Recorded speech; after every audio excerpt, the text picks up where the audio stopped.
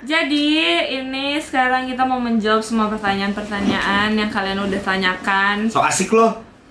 Love you. Love you, love you, love you, love you. di Instagramnya dia. Dan gue bakal milih 10 pertanyaan yang paling absurd. Dan yang pertama ada dari Willy Friends.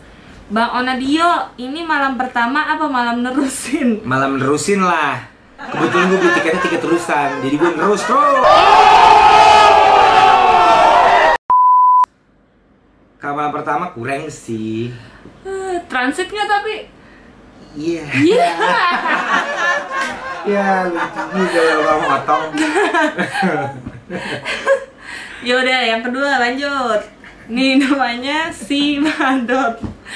Tolong jelaskan secara spesifik tujuan dibentuknya posyandu. Siapa penemu posyandu? Mengapa kita harus mengikuti eh mengikut serta sertakan anak kita dalam program posyandu? Karena suatu saat nanti kalian akan punya anak dan sewaktu-waktu pasti bakal ikut posyandu. Coba dijawab, Oke. Bapak Onar. Tolong jelaskan siapa, siapa penemu posyandu. Namanya Mamat Koleng.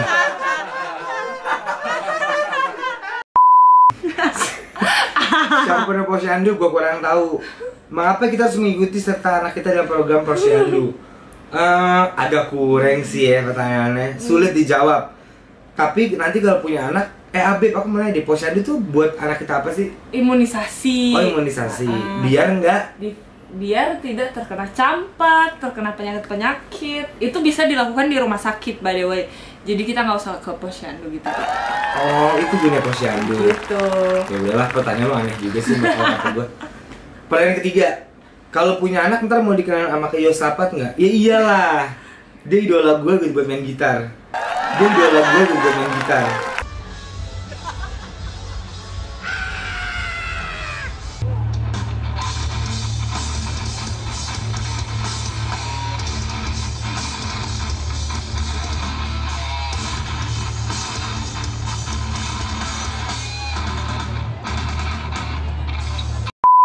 Mau dilesin sama Yosapa. Ih jago banget, apalagi pas ngomongin Soekarno.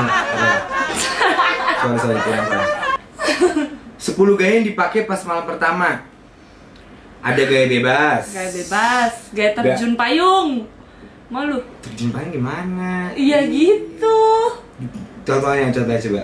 Jadi dari atas terus dia langsung mendarat gitu teman-teman. Si Oh.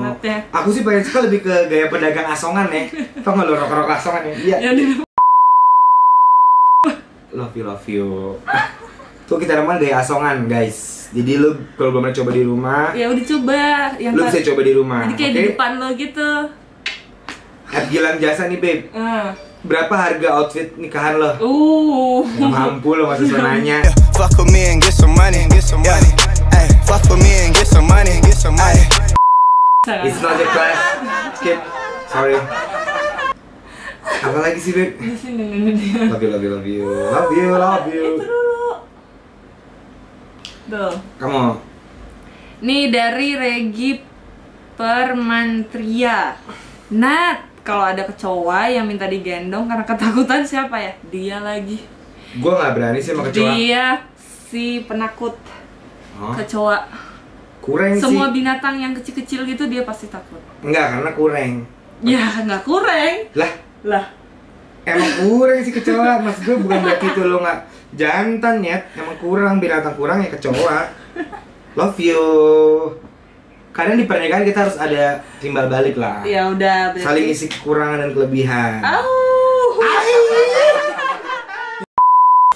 Nah, untuk part 2-nya bakal gue upload. Tapi sebelumnya lo subscribe dulu. Subscribe. Ah, salah ngomong. Love you. Like, Yes. Biar kita bisa upload terus video-video yang seru-seru buat kalian. See you on the part See you. 2. Mwah.